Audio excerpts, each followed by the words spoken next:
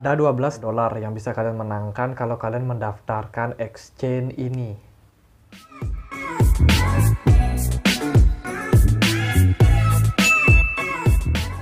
Hai semua, berikut adalah cara untuk mendaftar aplikasi Vibe ROI. Pertama-tama kalian klik link yang ada di deskripsi. Itu ada link untuk pendaftarannya. Atau kalian juga bisa melakukannya dengan klik roi.com di browser kalian.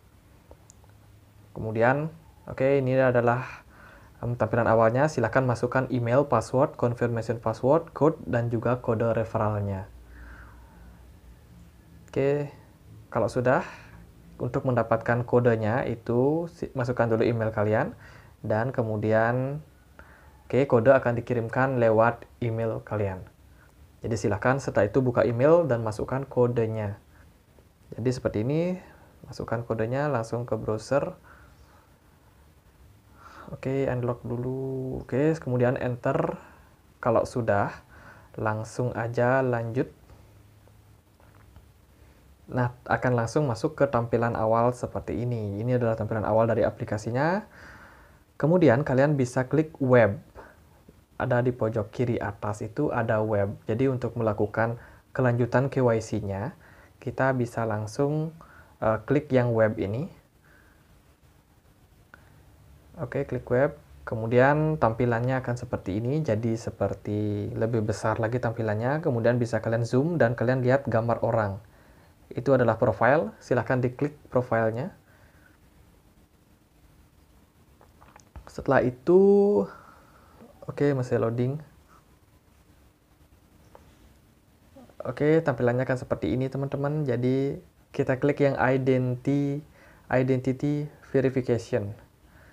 Di sini kalian perlu menyiapkan untuk KTP uh, eh, alat tulis kalau bisa pakai spidol dan juga kertas putih.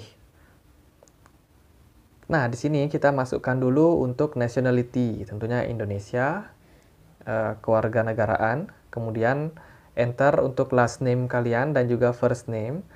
Jadi nama kalian silahkan diatur aja, buat nama belakang dulu dan nama depan. Kemudian kalau sudah, langsung verification complete. Kemudian advance verification. Kita lakukan uh, verifikasi lanjutan. Nah, di sini kalian butuh yang namanya KTP, um, seperti aku bilang tadi, kertas tulis dan juga uh, spidol kalau ada. Jadi itu fungsinya buat menggambar atau menulis, menuliskan uh, identitas kalian. Nah, di sini kalian perlu untuk menulis nama kalian yang paling atas.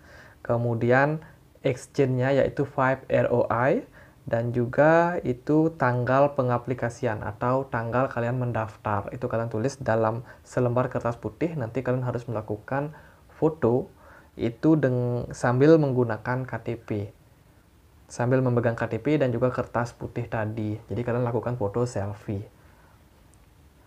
Oke di kolom di kolom paling atas ini masukkan dulu untuk KTP kalian. Jadi kalian bisa foto dan juga lakukan uploading dan yang kedua itu kalian selfie sambil memegang kertas putih dan juga uh, memegang KTP kalian. Jadi kertas putih itu kalian tuliskan dulu untuk nama kalian, kemudian juga uh, Vibe ROI sebagai exchange name-nya dan juga aplikasi, tanggal aplikasi uh, untuk KYC ini. Jadi tanggal pendaftarannya. Kalau sudah langsung aja submit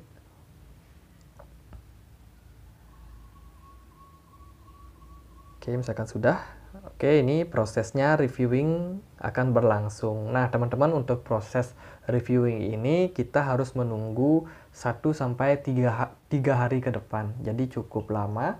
Jadi buat kalian yang punya banyak waktu untuk santai mungkin kalian bisa langsung mendaftar aplikasi ini. Dan kalau verifikasinya sudah berakhir, maka kalian bisa mendapatkan untuk 12,5 dolarnya. Informasi yang aku dapatkan itu uh, untuk saldonya tadi itu baru bisa digunakan mungkin pada bulan 10. Jadi pada saat ini aplikasi ini masih sangat baru di Play Store. Jumlah downloadingnya juga belum banyak teman-teman. Jadi ini kesempatan buat kalian yang belum mendaftar aplikasi ini. Silahkan kalian cek di link deskripsi untuk link pendaftarannya ataupun kode referralnya. Jadi untuk mendaftarnya wajib menggunakan kode referral. Kalau kalian skip, maka kalian tidak dapat kesempatan untuk 12,5 dolarnya. Oke deh, sekian aja video kali ini. Kalau kalian suka konten seperti ini, jangan lupa untuk klik like, komen, subscribe, dan juga aktifkan loncengnya. Akhir kata, saya Andre. Makasih.